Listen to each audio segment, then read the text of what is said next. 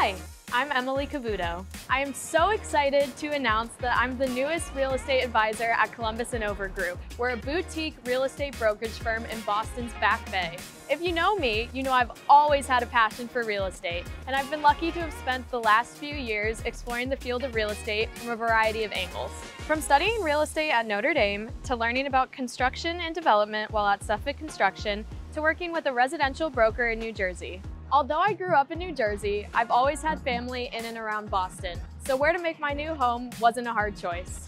Starting this month, I am super excited to expand on my passion for real estate by helping friends and clients work through the many challenges of buying, selling, and renting homes in this amazing city.